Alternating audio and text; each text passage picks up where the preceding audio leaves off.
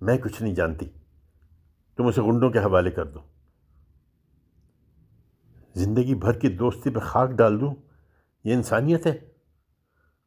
और कोई रास्ता भी नहीं है, मियाँ की बीवी ने चिल्ला के कहा। और कोई रास्ता नहीं है। तुमने अगर उसे गुंडों के हवाले ना किया तो मैं तुम्हारा और उसका दोनों का खून पी जाऊँगी। मियाँ की बीवी ने अपने लंबे लंबे नाखून हवा में लहराए। वो इस वक्त मुझे चुड़ैल और डायन मालूम हुई। उसने मियाँ को कॉलर से पकड़ लिया। जाओ, उसे गुंडों के हवाले कर दो। मियाँ उसके बिस्तर से उठा। उसने करीब के एक दराज खोल कर एक पिस्तौल निकाला और पिस्तौल निकाल कर कमरे के दरवाजे की तरफ़ बढ़ने लगा। मैं जल्दी से पलट कर सीढ़ियाँ चढ़ के ऊपरी मंजिल में अपने कमरे में आके अपने बिस्तर पर लेट गया। दिल धक धक धक धक कर रहा था। मुझे मालूम ऐसा होता था जैसे मियाँ पिस्तौल लिए मुझे मारने के लिए मेरे सराहने खड़ा है। यकाएक मुझे सीढ़ियों पर मियाँ के कदमों की चाप सुनाई दी। कदम मेरे कमरे के दरवाजे पर आकर रुक गए। मेरी सांस हलक में अटकने लगी। मियाँ ने हैंडल घुमाया और दरवाज़े खोलने के बजाय कुंजी घुमाकर बंद कर दिया। कमरे में तारीकी थी और मैं बिजली जलाना भी नहीं चाहता था। मैं आहिस्ता से अपने बिस्तर से उठकर उकड़ू होकर दरवाजे की तरफ़ गया और पर्दे के पीछे से हैंडल घुमा के आहिस्ता से देखा। हैंडल हिलता न था। मियाँ ने दरवाज़ा बाहर से बंद कर दिया था। इतने में मियाँ ने बाहर से एक सिगरेट सुलगाया और मैंने उसकी रोशनी में देखा कि मियाँ का चेहरा जर्द और सूता हुआ है और उसके हाथ में पिस्तौल काँप रहा है।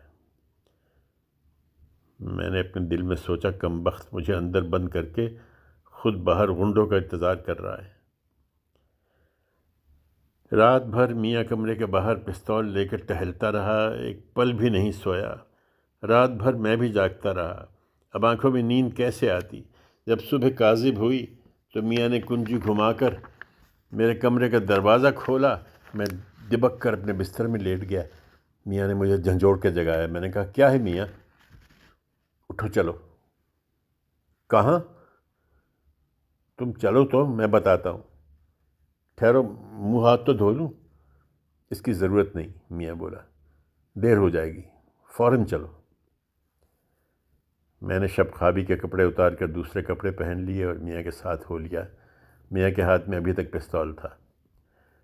हम दोनों नीचे उतरे तो भाभी को मैंने आदाब किया, मगर उन्होंने मेरे आदाब का कोई जवाब तक न दिया। मैंने देखा भाभी की दोनों आँखें सूजी हुई हैं। घर के दरवाजे पर मियाँ की हटसन खड़ी थी।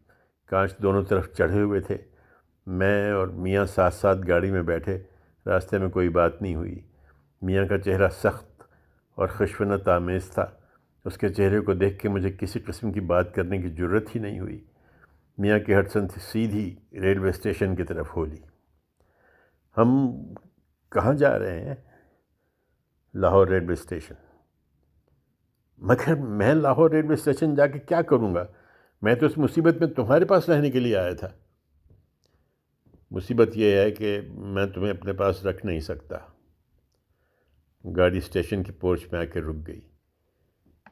मियाँ मुझे जल्दी से अंदर ले गया और मुझे तीन सौ रुपये दे के कहने लगा, अब तुम फ़र्स्ट क्लास के मुसाफिर खाने में बैठो और मुझे बता दो तुम कहाँ जाना चाहते हो, मैं तुम्हें टिकट ला के देता हूँ। मैं कहीं नहीं जाऊँगा, मैंने चिल्ला के कहा। मैं लाहौर में रहूँगा। लाहौर, जो मेरा वतन है, तुम नहीं रह सकते।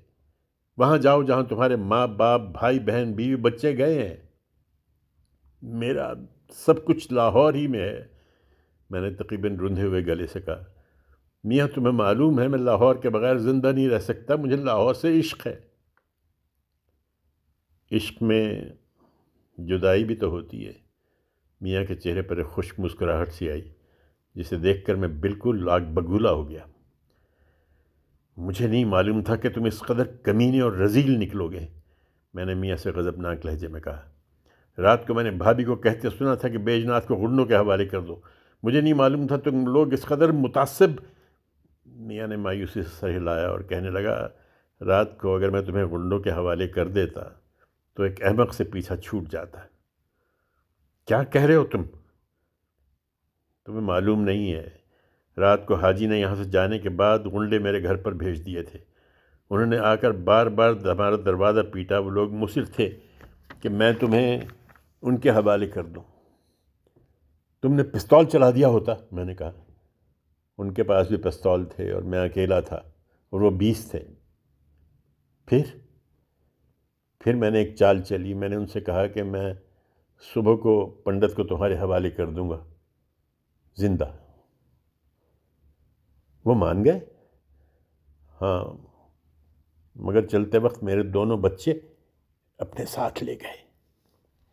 तारिक और तस्नीम मैंने चिल्ला कर कहा हाँ बतौर रमाल वो ने साथ ले गए हैं। शायद ये सोचकर कि अगर मैं सुबह को तुम्हें उस उनके हवाले न करूँ तो, तो नहीं नहीं मैं चिल्लाया। मैंने मियाँ के पाँव पकड़ लिए। मुझे ले चलो मुझे ले ले चलो, मुझे उन गुंडों के हवाले कर दो। मियाँ के होंठ काँप रहे थे। मालूम होता था वह अभी रो देगा। थोड़ी देर चुप रहा, फिर एकाएक वो अपने पाँव छुड़ाकर पलटा और भागता हुआ स्टेशन के बाहर जाकर हटसन को तेज़ी से चलाकर नज़रों से गायब हो गया। मैं थोड़ी दूर तक उसके पीछे भागा, मगर जब गाड़ी नज़रों से ओझल हो गई तो पलट कर स्टेशन के अंदर आ गया। कुछ देर तक तो पत्थर का बुत बना एक जगह खड़े का खड़ा रह गया। अब जाऊँ तो कहाँ जाऊँ? और अपने आप को हवाले करूँ तो किसके हवाले करूँ? आखिर ये सोच सोच कर एक बुजदिल की तरह अपने दिल को ढारस दे दी कि वो गुंडे मियाँ के बच्चों के साथ ऐसा सलूक नहीं करेंगे। ऐसा जुल्म तो नहीं करेंगे कि एक हिंदू की जान के बदले दो मासूम मुसलमान बच्चों की जान ले लें। हालाँकि इस वहशत के दौर में सभी कुछ मुमकिन है, मगर मैं यही सोचता हुआ फ़र्स्ट क्लास की कैंटीन की तरफ़ मुड़ रहा था कि उधर से एक आदमी आते ही मुझसे ज़ोर से ये कहता हुआ लिपट गया, अरे पंडित जी तुम कहाँ? मैंने देखा तो शाहिद था। शाहिद लाहौर स्टेशन पर टीटी था और अपना पुराना यार था। शाहिद की आँखें मुझे पहचान कर मुसरत से चमक उठी थी, मगर मैं इस आलम में अपना नाम सुनकर चौंक गया। इस मौके पर किसी का किसी को हिंदू नाम से पुकारना गोया, मौत को दावत देना था। मैंने अपनी उंगली अपने होठों पर रखी और इधर उधर देख कर कहा खुदा का शुक्र है किसी ने नहीं सुना। शायद शर्मिंदा से हो गया। सॉरी मुझे ख्याल नहीं रहा दोस्त। शायद ने बहुत बहुत माफ़ी चाही। मुझे अपने केबिन में ले गया, चाय पिलाई, फिर उसने मुझसे पूछा, अब तुम कहाँ जाओगे? मैंने शाहिद से कहा, मैं आया तो था अपने घर, मगर यहाँ आकर मालूम हुआ कि सब लोग यहाँ से भाग चुके हैं। कुछ देर अपने दोस्त के यहाँ ठहरा और उसके लिए मुसीबत का बायस बना। सोचता हूँ गाँव जाऊँ और वहाँ शायद मेरे बीवी बच्चे मिल जाएँ। तुम्हारा गाँव कहाँ है? शायद ने मुझसे पूछा कोटली सूदका कोटली सूदका कहाँ है? कोटली सूदका तहसील शक्करगढ़ में है और तहसील शक्करगढ़ ज़िला गुरदासपुर में है। शायद ने फ़ौरन कहा तो तुम बरास्ता नारोवाल जाओगे। ठीक है, मैं तुम्हें टिकट ला के देता हूँ। थोड़ी देर में गाड़ी जाने वाली है। उसने घड़ी देख कर कहा टिकट लाने चला गया। गाड़ी नारोवाल को चलने लगी तो मेरे जहन में पंजाबी के दो बोल यूँ चमक गए जैसे अंधेरी रात में किसी की आंसुओं से भरी हुई दो आँखें चमक जाएँ। गड्डी आई गड्डी आई, नारोवाल दी, बुढ़ड़े दी दाढ़ी बिच अग बाल दी। और यकाएक मेरी आँखों में आँसू आ गए और मुझे ऐसे महसूस हुआ जैसे पंजाब एक बूढ़ा है, एक सफ़ेद रेश किसान है। जिसकी दाढ़ी में तफ़रक़ा परदाज़ों ने आग लगा दी है। पंजाब जल रहा है और उसकी इज़्ज़त और हरमत जल रही है और वो सफ़ेद रेश बूढ़ा, बेबसी और मजबूर होकर अपनी झुर्रियों की ओट में छुपी हुई आँखों से आँसू पोछ रहा है और सर हिला हिला कर भराई आवाज़ में कह रहा है, गड्डी आई गड्डी आई, नारो बाल दी, बुढ़ड़े दी दड़ी बिच अग बाल दी।